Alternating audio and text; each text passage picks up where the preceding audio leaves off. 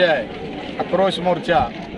हा मोर्चा सोलापूरच्या संभाजी चौकातून जिल्हाधिकारी कार्यालयावर जाणार हे गेल्या आठवड्यापासून संपूर्ण जिल्ह्यामध्ये राज्यामध्ये चर्चा व्हायला लागली. आणि आघाडी सरकारच्या पायाखाली वाळू घसरायला लागल्यासारखी परिस्थिती आज या राज्यामध्ये निर्माण झालेली आहे. परंतु या ठिकाणी जिल्ह्यामधून संपूर्ण तालुक्यातून हजारो वाहनं आणि हजारो युवक या ठिकाणी आज रस्त्यावर उभं राहिलेले आहेत. दहा दहा ठिकाणी त्या ठिकाणी बॅरिकेडिंग लावून त्या ठिकाणी मराठा समाज बांधवांना या मोर्चापासून रोखण्याचं काम आणि त्यांचा आवाज दाबण्याचं काम हे आघाडी सरकार पोलीस प्रशासनाच्या माध्यमातून करत आहे आज संपूर्ण महाराष्ट्रातनं या ठिकाणी पोलीस खातं या ठिकाणी जवळजवळ दहा हजार पोलीस या ठिकाणी अधिकारी उपस्थित आहेत.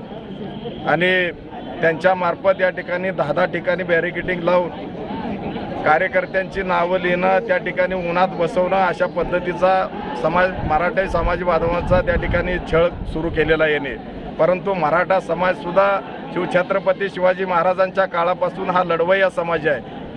जोपर्यंत मराठा समाजाला आरक्षण मिळत नाही तोपर्यंत हा मराठा समाज लढतच राहणार आणि कुठलीही पद्धत असू द्या गनिमी कावा असू द्या नाही समोरासमोर भिडायचा असू द्या हा समाज आता मागे पुढे पाहणार नाही. आता अकराची वेळ होती परंतु त्यांनी विनाकारण या ठिकाणी शांततेनं मोर्चा चालला असताना सुद्धा या ठिकाणी गर्दी कशी कमी होईल आणि अधिवेशनाच्या अगोदर आपल्याला कशा पद्धतीनं या ठिकाणी यश मिळवता येईल अशा पद्धतीचं या आघाडी सरकारचं धोरण आहे. परंतु आता या ठिकाणी मला वाटत नाही की हा मराठा समाज बांधव आता रस्त्यावर उतरलेला आहे. आणि राज्यामध्ये पहिला आक्रोश मोर्चा नरेंद्र पाटील साहेबांच्या नेतृत्वाखाली या ठिकाणी संपन्न होतोय.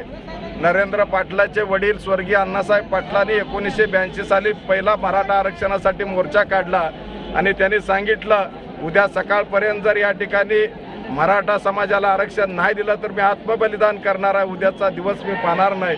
अशा पद्धतीचं एक कडवा आणि समाजाला न्याय देणारा नेतृत्व एकोणीसशे ब्याऐंशी साली त्या ठिकाणी आत्मबलिदान केलं आणि समाजासाठी फार मोठा त्याग केला अशा त्याग